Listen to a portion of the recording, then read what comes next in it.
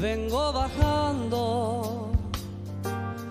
Camino y piedra traigo enredada en el alma. Quien ha ganado la voz argentina es con el 52,4%. 2 millones de pesos y un contrato con Universal es Josma Montoya.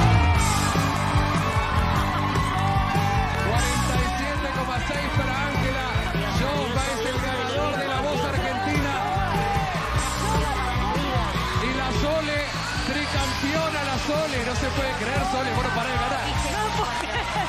Te lo juro. Te lo juro que no son. Muy cercano los dos, ¿eh? Muy cercano. Josma. Te quiero.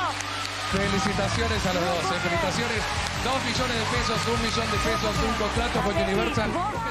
Josma, felicitaciones. Gracias a la familia que me vino a ver, a toda la gente que me apoyó, no lo puedo creer. Que Dios lo bendiga a todos, los quiero. É meu sonho.